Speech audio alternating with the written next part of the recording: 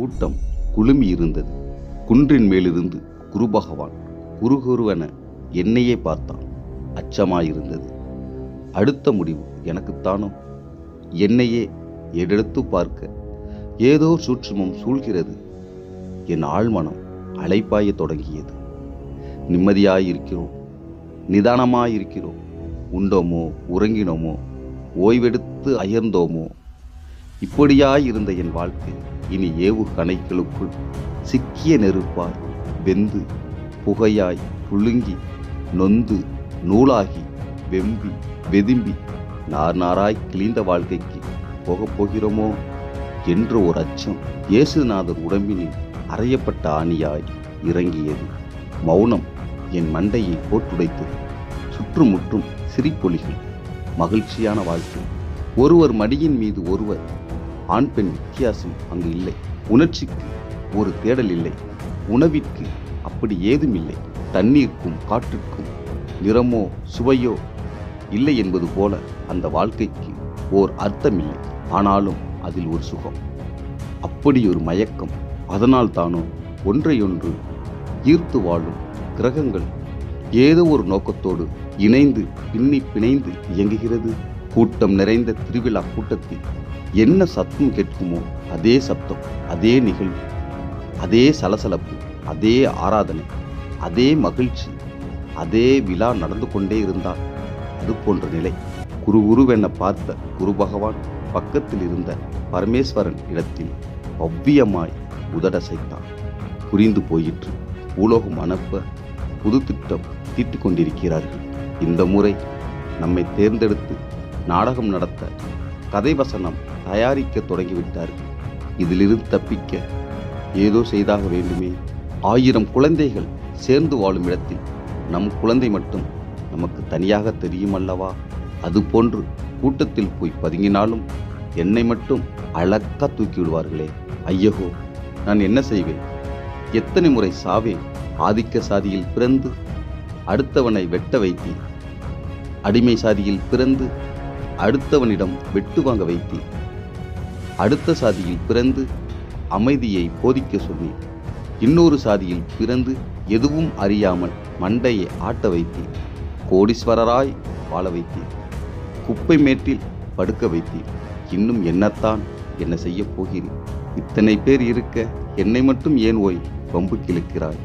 மனதுக்குள் கதை வசனம் தானாக டைப்படிக்க இங்கும் அங்கும் ஓடி ஒளிய ஓர் இடம் தேடி அலையும் இந்த மனதுக்கு அமைதியான ஆறுதல் சொல்ல. அங்கு யாரும் இல்லை அத்தனை பேரும் தனித்தனியாக ஓர் ஒற்றுமையை போல் இயங்கிக் கொண்டிருக்கிறார்கள். அதாவது மீன்கள் கூட்டம் எறும்புகள் கூட்டம் விலங்குகள் கூட்டம் பறவைகள் கூட்டம். இப்படி மனித கூட்டத்தோடு ஒப்பிடாத அந்த இயற்கை கூட்டமாக ஏதோ ஒரு மகிழ்வில் இயங்கிக் கொண்டிருக்கிறார்கள். பயந்த பார்வையில் வெறிச்சோடியாய் அவர்களை மேற்பார்வையாய் பார்த்து பகவான் சிரம் சாய்த்து கண்களை மூடி திறந்தார். என்னை அழைப்பது தெளிவாயிற்று. கால்கள் பின்ன மனம் தடுமாற படபடப்பு மனதோடு எடுத்த அடி மீதே அடியை வைத்து நடக்கத் தொடங்கினேன். குரு முறைத்தார் பகவான் புன்னகைத்தார். என் கால்கள் என்னிடம் ஏதும் உத்தரவு கேட்கவில்லை. அதுவாக எழுந்து நடக்கத் தொடங்கியது. பகவான் முன்னின்றே உடம்பெல்லாம் வியத்து நொந்த மாதிரி ஒரு உணர்வு. ஆனால் அப்படி ஏதும் அங்கு இல்லை அது வாசனை நிறைந்து மணமணக்கும் இடம். ஆனாலும் அந்த இடம் என்னை தலைசுற்ற வைத்தது. உடல் நடுங்க வாய் பிதுங்க கை கட்டி அப்படி ஒரு அமைதியாய் அவ்வளவு சப்தத்தில் பகவான் குரல் கேட்க செவிசாய்த்து நின்றேன். அந்த ஒற்ற குரல் மட்டும் என் காதுகளில் கேட்டது. நீ பூலோகம் போ. பகவானே என்னை விட்டு விடுங்கள் என்னால் அது முடியாது. செத்து செத்து வாழ எனக்கு இனி திராணி இல்லை. ஆள் மாற்றி விடுங்கள் நான் அமைதியாக இங்கேயே இருந்து விடுகிறேன். என கால்கள் பிடித்து கண்ணீர் சிந்தி கெஞ்சினி பகவான் புன்னகையோடு புனைந்தார். நல்லவர்களுக்குத்தான் நாட்டுக்குள் வாய்ப்பு. இந்த முறையும் உனக்கே என்றார். பகவானே அந்த வழியும் வேதனையும் உமக்கு தெரியாதா? என்னை மட்டும் ஏன் தண்டிக்கிறாய்? அமைதி வாழ்க்கை வேண்டி கோயில்களில் போய் வழிபட்டால் இந்த சொற்கலோகம் வந்து அடையலாம் என்ற போதனை அங்கு நிலவுகிறது. அதன்படி இங்கு வந்தால் புண்ணியம் செய்தவர்களுக்குத்தான் அந்த வாழ்க்கை என்கிறேன். எது உண்மை பொய் என்று புரியவில்லை பகவானே. எல்லாம் நன்மைக்கே என்ற வசனம் மட்டும் புரிகிறது. ஆனால் இந்த நிம்மதி அங்கு இல்லையே. அப்படி இருக்க அது எப்படி புண்ணியமாகும்? அடுமடையா? அமைதியா வாழ்வது ஒரு வாழ்க்கையா? மண்ணுக்கு கூட உணர்ச்சிகள் உண்டு. அதனால்தான் அதுவும் பிரசவித்து கொண்டே இருக்கிறது. அதற்கு நான் வாய் தரவில்லை. அதனால் உள்ளுக்குள் அழுகிறது. ஆனாலும் அழகான படைப்பை தருகிறது. அல்லவா? ஆண்டவா நீ எந்த வாழ்க்கை வேண்டுமானாலும் கொடு. ஆனால் மனித வாழ்க்கை மட்டும் எனக்கு வேண்டவே வேண்டாம். என் படைப்பானது ஒன்றை ஒன்று சார்ந்து வாழும் விதிமுறைக்கு உட்பட்டது. அதில் மட்டும் மனித இனத்திற்கு கொஞ்சம் மாறுதல் வைத்துள்ளேன். சாதியாகவும் மதமாகவும் தெருக்களாகவும் ஊர்களாகவும் வாழ வகை செய்துள்ளேன். அங்குதானே ஆண்டவா பிரச்சனை? எல்லா உயிர்களையும் போல் இந்த மனித இனத்தையும் படைத்திருந்தால் இவ்வளவு பிரச்சனையே. உமக்கு என்ன பிரச்சனை? பகவான் கோபமாய் கேட்டார். எனக்கு பயம் இல்லை சபித்து இங்கேயே போட்டு விடட்டும். என எல்லாமே பிரச்சனை தான் என்றேன். ஓ அப்படியா? உனது உடம்பில் உனக்கு முக்கியமில்லாத பாகம் என்றால் எதை குறிப்பிடுவாய்? என்றார். அப்படி ஏதுமில்லை. எல்லாம் அவசியம்தான் என்றேன். அப்படி எனில் மூடிக்கொண்டு போ. என் படைப்பு எல்லாம் எனக்கு சரிசமம்தான். உனக்கு பிரச்சனை என்றால் இன்னொரு உயிருக்கு இன்னொரு பிரச்சனை. பார்க்கின்றாயா? என்று ஆகாயத்தை விலந்து அடியில் பார்க்கச் சொன்னார். விலங்குகள் இன்னொரு விலங்கை வேட்டையாடி காட்சி நடத்தியது.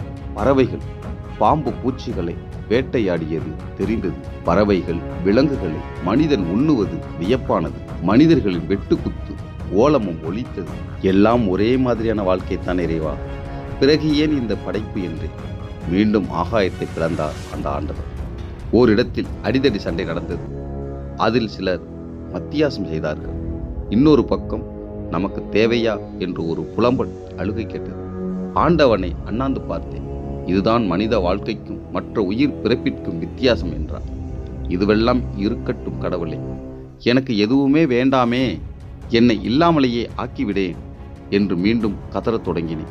இறைவனின் இறுக்கி பிடிப்பில் என்னை இன்னும் ஈர்த்தார். அறிவியலின் உண்மையை அறிந்து கொள். ஓர் ஆற்றலை ஆக்கவோ அழிக்கவோ முடியாது. ஆனால் ஒரு வகை ஆற்றலை இன்னொரு வகை ஆற்றலாக மாற்ற முடியும். படித்ததுண்டா? உன் உயிர் வேறொரு உயிராக மாற்றப்படும். ஆனால் உனக்கு ஏதும் அழிவு கிடையாது. என பல் மீது பல் வைத்து உதடு விரிய குர்ரென பார்த்து சொன்னார். அப்படியெனில் நான் வெட்டு குத்துகளின் மத்தியில்தான் வாழ வேண்டுமா? சண்டை சச்சரவுகளை சந்தித்துத்தான் ஆக வேண்டுமா? அமைதியாக இது போன்ற தெய்வீக வாழ்க்கைக்கு வழியே இல்லையா? என வினா எழுப்பினேன். பகவான் சொன்னார் நீ பகவான் என்றாலும் அல்லாஹ் என்றாலும் ஆண்டவர் என்றாலும் என்னைத்தான் அழைக்கிறாய். புரிந்து கொள். வெயிலும் நிழலும் எப்படி உயிரினங்களுக்கு உகந்ததோ அதுபோன்று இன்பமும் துன்பமும் சரி நிகரானது. இன்பம் எப்படி உமக்கு இன்பமானதோ அதுபோன்றே துன்பமும் உமக்கு இன்பம்தான். அனுபவித்தால்தான் புரியும். அட மடக்கடவுளே ஆசையாய் வாழும் வாழ்க்கை அப்படியே அழிந்து போகிறது. செல்லமாய் பிணைந்த மனிதர்கள் இறந்தே போகிறார்கள். இது எவ்வளவு வேதனை தெரியுமா? கடவுளே கடவுளே என்கிறீரே. அதன் அர்த்தம் புரிகிறதா உமக்கு?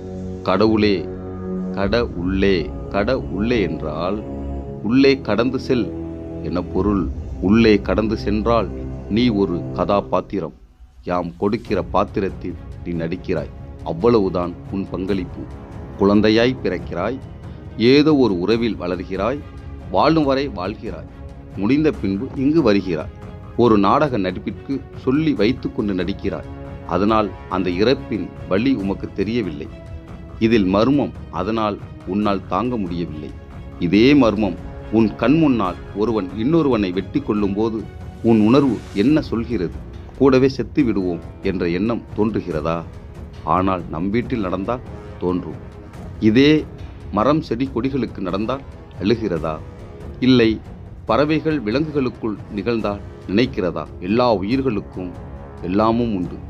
ஆனால் எல்லாவற்றையும் கடந்துதான் வாழ்ந்தாக வேண்டும். உன் படைப்பில் உனக்கு ஒரு கதாபாத்திரம் உண்டு. அதை நீ எவ்வாறு கையாள்கிறாய் என்பது உன்னோட பொருத்தி அனுப்பப்படுகிறது. படைப்பு சுதந்திரம் மட்டும்தான் எனக்கு உண்டு. வாழ்வது உன்னிடம்தான் உள்ளது.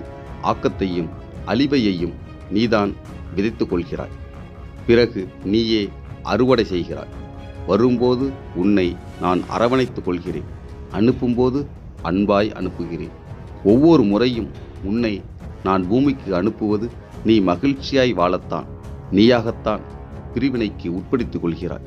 நீயாகத்தான் குழு சேர்த்து கொண்டாடுகிறாய். இதில் எனது பங்களிப்பு எங்கே இருக்கிறது?